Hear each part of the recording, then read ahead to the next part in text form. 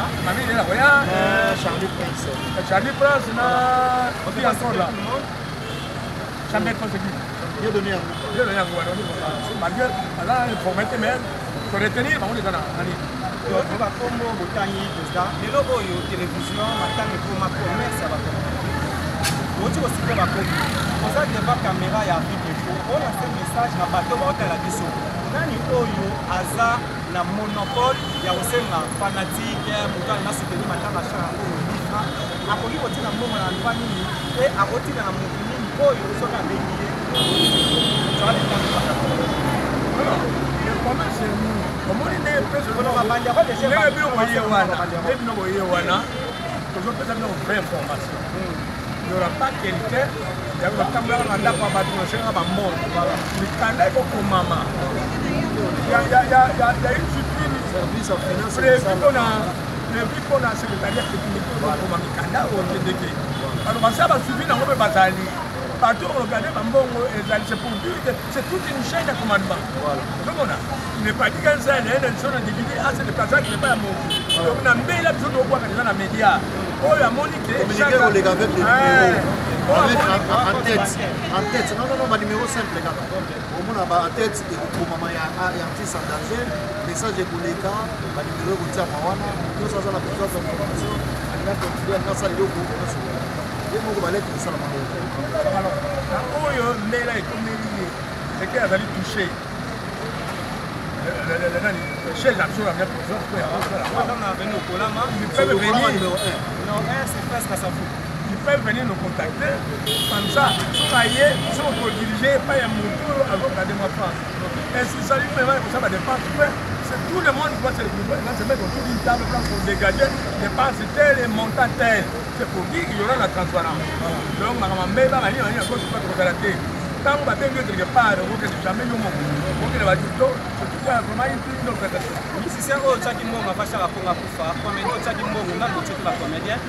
benga sikoyo président Guy Moller soki ete obengi mako aza mwana ya papa shaka kongo na président blaise bula pesa mbongo na maboko na bango misato soki opesi mbongo na bato misusu oyo bango bayebi te akoloba te kokontinue na matanga pesa na kosi partout au monde baotala yo nakoloba dernier message te mpona sikoyo mpona interpo oza mpe na makambo osala toa na bato soki tozwa programme oyo tozali nango besoin kopesa biso sikoyo soki komite directeur matanga shaka kongo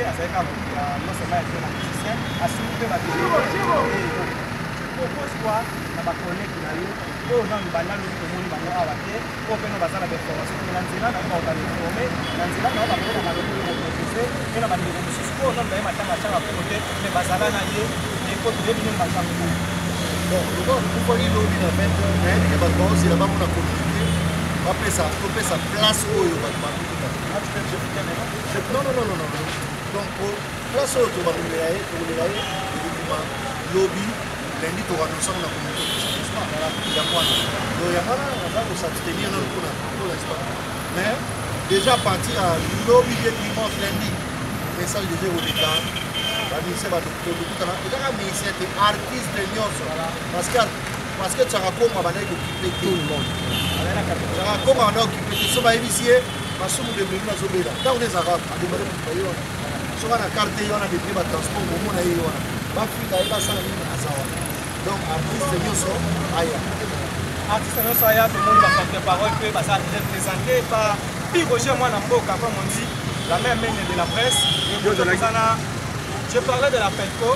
président ya pelco aza awa sinon molawa mais oya vatona wana tomoni pi roger mwana mboka merci président na ta na yo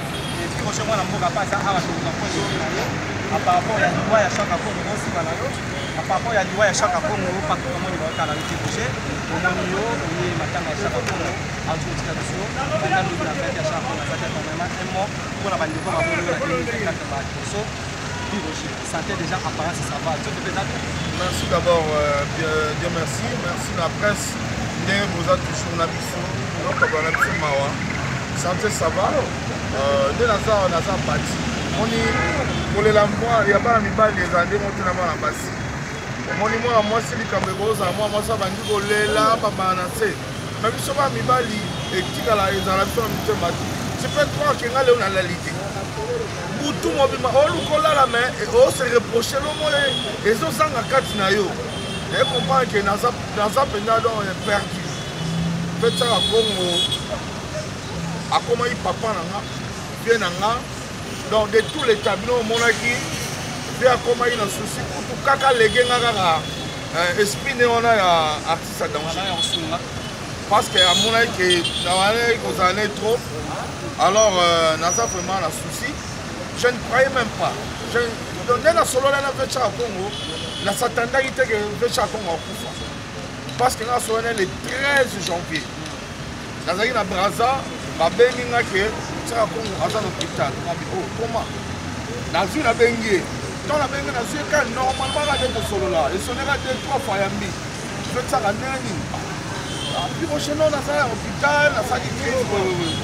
Oyo oza wapi? Na nsenga naza na Brazza. Sava soki kini oya. Ye mpe nazongi kini. Ntango nazongi kini ye merci. Je n'ai pas compris kilo moko elasi nga mpo nakende hopital wana.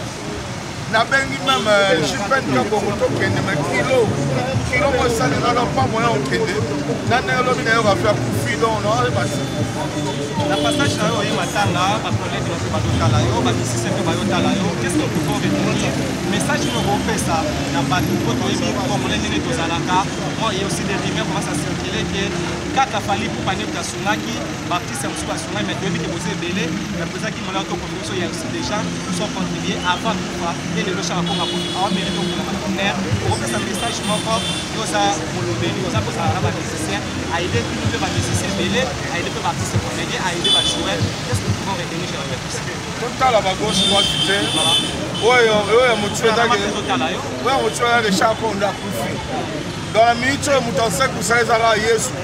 lokola yesu aoya osaki kosala esuki sikoyo te donc mpe tyaka kufi eloko ngai naosanga nde na gouvernement na chef de l'état papa na biso faci beton tozongisa chaka congo bahonneur na ye parce que azali kobunda mpo na bato ba décorer bato ebele mpo na tiaka kongo bakundi bato ebele na ba grand valeur likolo ya tiaka kongo akomi bamikanda akotisi na babiro totambola na ye na babiro ndenge na ndenge amona bakontinane mpo na baka ya bato exemple kaka ya vengadios ye moto asala ye nde ye moto asala mpe ke venga diosa telema ndenge atelema wana yandimosi bayandimosi papa lutumba mpo apesa mokonzi ya mboka wa kala pita eza mayele chaka mpo moto akomaki asala baprojet ebele ya minene na oyo mosusu totanga te alors nga na osenga dabord bakonzi ya mboka mosenga bakonzi bazwi matango kaka charge tous les musiciens bakoya mbangu mpo bango balingaka bamonaka euti na likolo soki kaka bakonzi kaka moto bazwi makambo en charge tous les mission oyo oyokaka nkombo na bato ya théâtre na baplasticien na bato tu bakoya mbangu nayebi soki bamosusu bayebi coco ebima bamosusu mpe balinga lokumu mokonzi amona ye azalaki wana akoya tenga na olaseka message na bakonzi ya mboka hmm.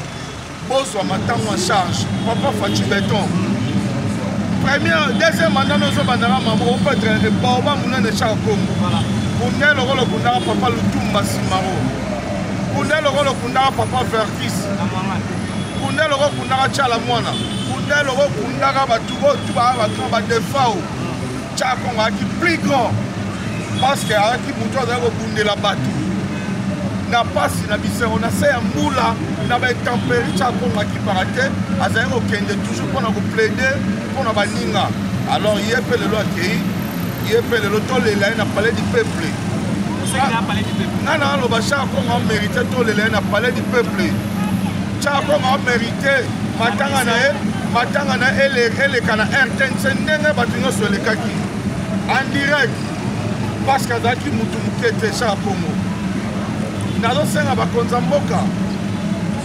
botala esika chakoma wanda ofanda ese baolakisa bango chakoma wanda ofanda awa ba wanda ofanda ofele bawi mpe na biso papi palata moto aza kobomba ye apesa ye sika immeuble te apesa ye sika alobaki te apesa ye chambre au service oyokanisaka kotya kongo ayaki patron oyo banda olya bambongo te mpe na ngai wana banda kose sacrifie ye mpo na bato ye bofinga ye yazanga me bato bazwa hmm. omoni motema sa kongo azali kose sacrifie mpo na bato bazwa bato bazala bien donc yango nasenga mpe na bakonzi bozongisela ye wana kutu matanga na ye matanga werason mpo tia kongo akimi na moto adela foret yo mo oyebi baplaki basalaka tia kongo ayaka na palais akuta koti akoti ti na cuisine yayaka abando derangement mpota wefufu wefufu yalinga kwanga mingi otyaka kongo banalina kwanga mingi bakonzi ya mboka tosalisa famille atyaka mpongo totikala bango ntango kikoba moko boyo etikala souvenir e papa na biso azalaka asalaka mpe likambo bamona yango merci beaucoup amirai masaka armelo